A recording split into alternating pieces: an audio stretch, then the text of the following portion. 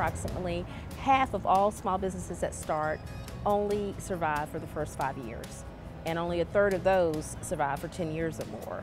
So we're here to provide opportunities for our small business community, our entrepreneurs, to make sure that they're not only expanding, sustaining, but they're thriving here in Columbia. We're here to make sure that um, small, minority, and women-owned businesses are here to either do subcontracting opportunities or here as a protege. We're always willing to schedule appointments and educate people on the different programs that we have, such as our facade program, or it could be loans, um, forgivable loans, as well as different programs like LBE and CBDE. Where is our next target? Who are the contractors or vendors that uh, are not represented. We go, we seek them out, and, and we like them to come and have an opportunity to bid on projects.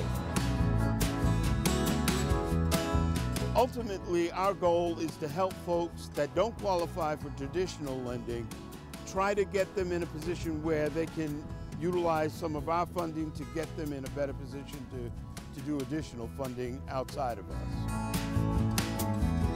It's about economic empowerment. A lot of the vendors that the city uses that are local, they eat here, they shop here, they do a lot of business here, and they're residents of the city, or if not the city, but in the city area. What I really enjoy about working with the Office of Business Opportunities is what I do.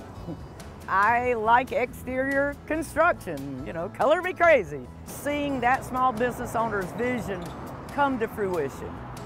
It, it, you just can't beat it.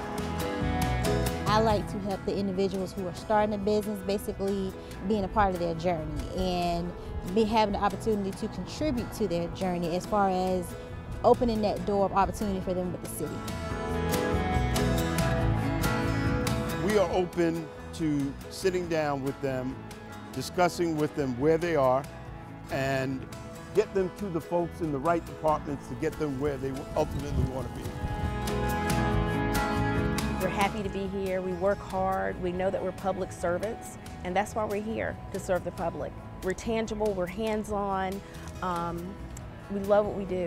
We really love what we do. We love working with our small business community. Hey there, Mayor Steve Benjamin here. Thanks for watching this video. Make sure you give it a like right below the video, and don't forget to subscribe.